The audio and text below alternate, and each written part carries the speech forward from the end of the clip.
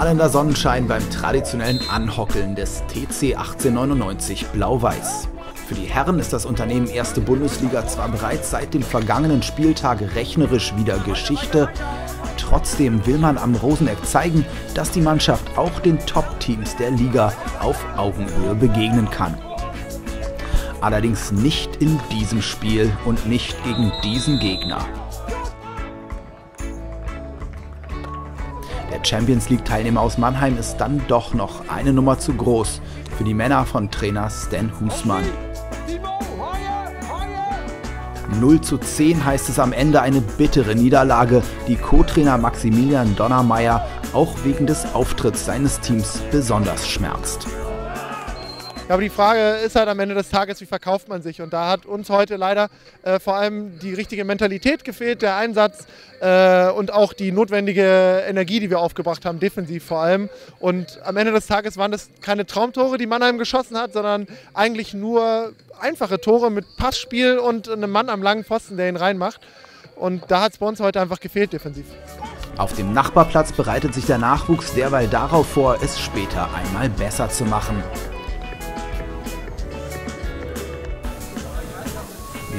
Grillbetrieb den übrigen Vereinsmitgliedern unmissverständlich den Start der Sommersaison anzeigt.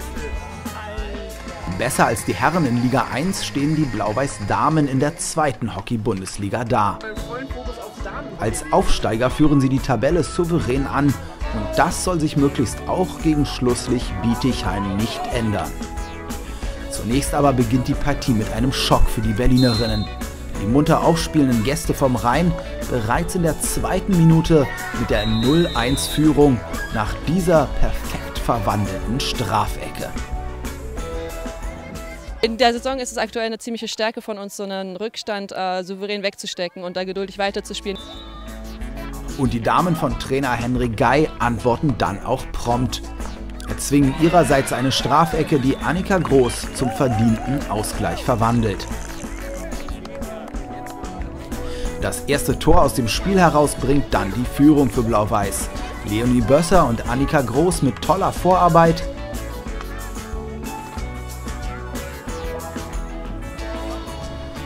Ehe Kira Angerer dann zur Stelle ist und zur 2 zu 1 Führung einschiebt.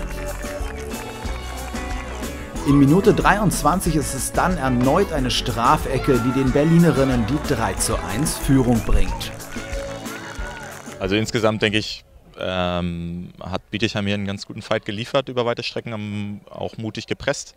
Ähm, da mussten wir uns erstmal reinfinden und das haben wir dann nach im zweiten und Viertel, auch im dritten Viertel echt gut hinbekommen und ähm, dann glaube ich am Ende auch verdient gewonnen.